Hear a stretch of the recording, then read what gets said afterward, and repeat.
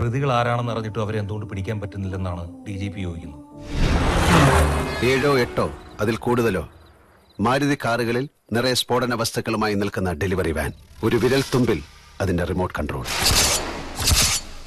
Police ഉണ്ടെന്ന് സൂചന കിട്ടിയാൽ മതി ഒരു അഗ്നിപർവ്വതം പോലെ പൊട്ടിത്തെറിക്കാൻ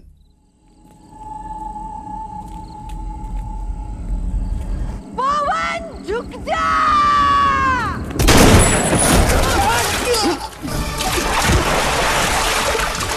Oh!